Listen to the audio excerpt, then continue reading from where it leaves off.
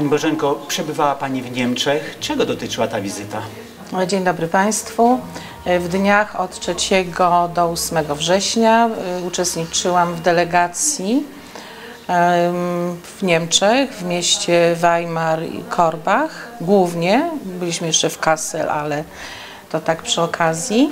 E, Delegacja składała się z pracowników Domu Pomocy Społecznej w Szarocinie, z panem dyrektorem na czele y, Stanisławem Dłużakiem i uczestniczyła trójka radnych, uczestniczyłam ja, Bożena Ziemiańska, y, Ania Wądołowska-Grabowska i y, Jan Orzechowski. Delegacja miała na celu wizyta, wizytowanie em, ośrodków prowadzonych dla osób niepełnosprawnych.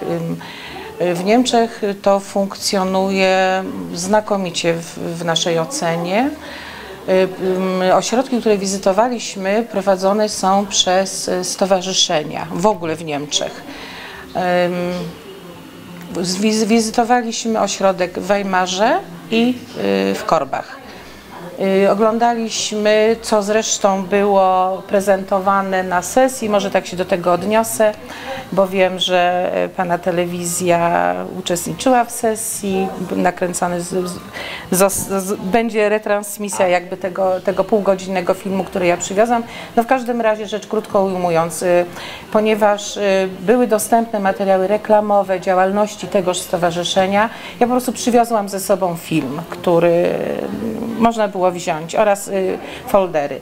I ten film y, no, obejrzałam już po przyjeździe do Polski, stwierdziłam, że no, jest nie, to jest niez- niezwykle ciekawy materiał i postanowiłam zaprezentować wszystkim radnym na sesji, ostatniej sesji Rady Powiatu, która się odbyła 25 września.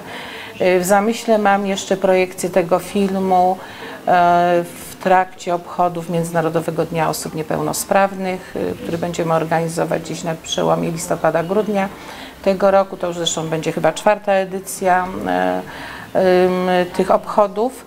No w każdym razie y, wracając jeszcze prawda, do wizyty, ten ma- materiał zawarty w w filmie, który był emitowany, myślę, że naj, najlepiej oddaje y, wszystkie y, zagadnienia, którymi się to stowarzyszenie zajmuje, wszystkie formy pomocy osobom niepełnosprawnych. W zasadzie też nie oddaje wszystkich, ponieważ my oprócz y, wizytowania tego, co, co było w filmie, wizytowaliśmy jeszcze działania, to jest takie, y, to jest taka wspólnota, która się nazywa Markus. E, taka, trudno mi określić, jak taka chrześcijańska wspólnota, e, która ma e, na całym świecie ponad 100 placówek, 13 w Niemczech i z tego, co nam mówił e, pan, który nas e, prezentował całą tę swoją działa, ich działalność, mówił, że również jest jedna taka placówka w Polsce, gdzieś w Tatrach Wysokich, ale ja nie wiem gdzie. W każdym razie no, tam też były bardzo, bardzo ciekawe, wybitnie ekologiczne działania prawda? No, także no, oni są szalenie, szalenie zasobni w środki, oni posiadają 80 hektarów, y, pralnie, piekarnie, wydają 1500, y, znaczy wydają, produkują ci niepełnosprawni 1500 produk- y, obiadów dziennie. Także proszę sobie wyobrazić, jak to jest w Niemczech rewelacyjnie zorganizowane. Tam, ja nawet zadałam takie pytanie, jak dużo jest tych osób niepełnosprawnych. Chciałam się jakby odnieść do ilości osób niepełnosprawnych w Niemczech i w Polsce. E, No oni mają więcej, to znaczy tak, procentowo, bo przecież to jest e, e, większe państwo od, od Polski, więc procentowo mają mniej, ale ilościowo więcej. No, tak, jak, tak jak y, tam sprawdzał w internecie tłumacz, mają gdzieś 8, około 8 milionów tych osób niepełnosprawnych. A u nas w powiecie kamiennogórskim? Tak w przybliżeniu. Tych rodzin ile jest? Takich Właściwie tak, dokładnych danych to my nie mamy jako takich. Jedyne dane, którymi się możemy posługiwać, to są dane gusowskie, a, w- a właściwie jeśli chodzi o osoby poszukujące pracy, o, to jeśli dobrze pamiętam, to jest około 170 chyba osób, znaczy mniej niż 200 na pewno, ale to są osoby, które są zarejestrowane w Powiatowym Urzędzie Pracy. To są te osoby y, bezrobotne poszukujące y, pracy o różnym y, statusie, prawda, bo są bo są to renciści, są osoby, które nie, nie mają takich świadczeń. To już są dokładne takie dane, to może umówimy się Na jakby program. na inny program, ponieważ no ja musiałabym tu jednak, Tak. chciałabym być rzetelna w przekazywaniu tych danych liczbowych. Pani Bożenko, E, jeszcze wrócę tak. do tego y, samego wyrazu stowarzyszenie. My tutaj w powiecie kamiennogórskim nie mamy chyba takiego stowarzyszenia. To znaczy też nie do końca. P- Proszę zauważyć, że w Polsce trzeci sektor, bo tak to, taką mamy klasyfikację, trzeci sektor, w skład którego wchodzą fundacje, organizacje, stowarzyszenia i inne, i inne organizacje pozarządowe, to są kluby. No w każdym razie, no, jeśli chodzi o nasz powiat, działań takich dla osób niepełnosprawnych, takich naprawdę solidnych działań, ja osobiście nie widzę.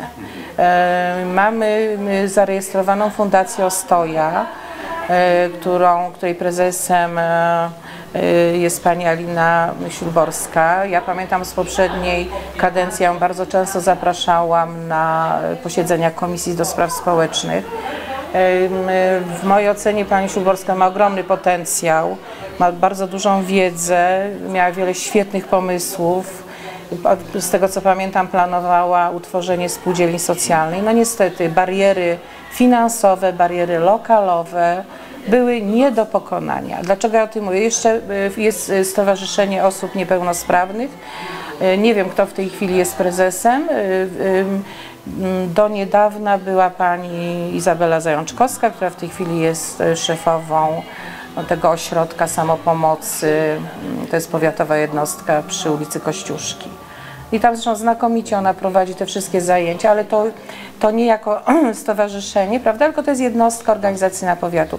Natomiast jeśli chodzi o takie działania prowadzone przez trzeci sektor na terenie naszego powiatu, no one może są jakieś, ale to nie, to nie na takim poziomie, jaki byłby, myślę, oczekiwany przez te osoby niepełnosprawne i ich rodziny, bo y, proszę zwrócić uwagę, że problem osób niepełnosprawnych nie dotyczy stricte tylko tych osób z, z rozmaitymi dysfunkcjami, ale przede wszystkim całych rodzin, prawda?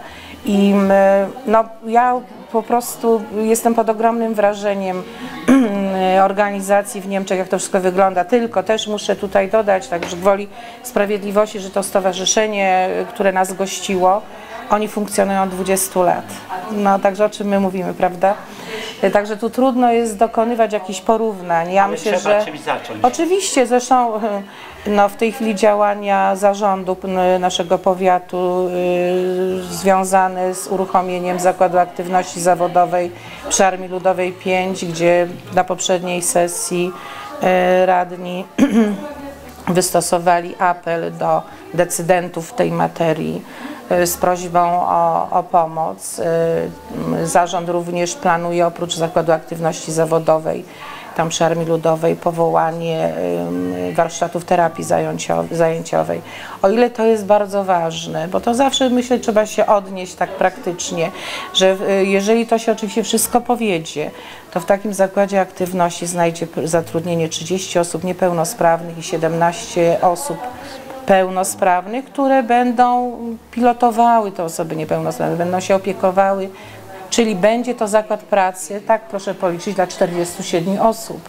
Także no tu korzyści byłyby naprawdę ogromne. Po pierwsze pomoc dla tych osób niepełnosprawnych, zatrudnienie, te osoby mogą zarabiać pieniądze wtedy, rodzinom jest lżej, y, te osoby niepełnosprawne mają zapewnioną opiekę i pobyt przez te parę godzin w, y, w, w ciągu dnia.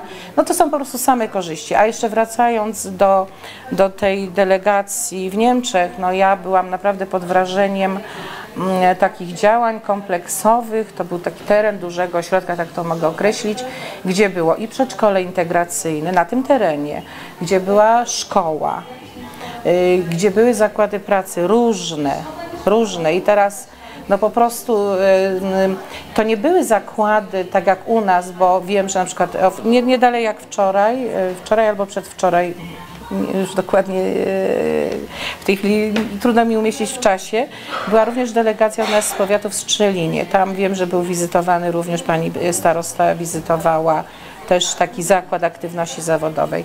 No i też mi też właśnie pani profesor mi pokazywała taką ich ulotkę i co oni robią, prawda, że no oni się tam głównie koncentrują y, na obsłudze wesel, czyli y, od począwszy od zaproszeń, kartek, poprzez jakieś tam suweniry y, związane z tą uroczystością ślubną.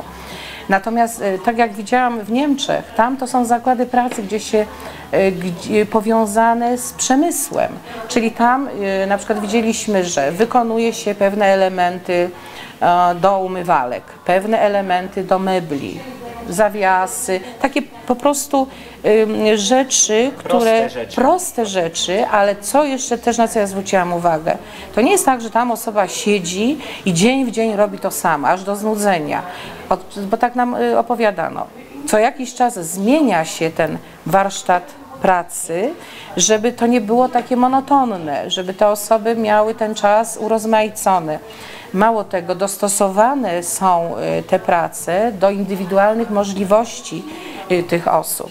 Sama widziałam na przykład jedną osobę, która, która miała na głowie coś w rodzaju takiego kasku, ponieważ no tak nam właśnie powiedziano, że jest to, jest to pani, która no jednym z elementów jej jakby choroby jest to, że no od czasu do czasu ma jakieś takie stany napadowe, że głową gdzieś uderza, więc żeby ona sobie krzywdy nie zrobiła, prawda, no to ma głowę zabezpieczoną. Widziałam e, osoby, które miały problem z utrzymaniem ręki, na tym w tym warsztacie pracy ręka była na tym blaku przymocowana, żeby nie spadała.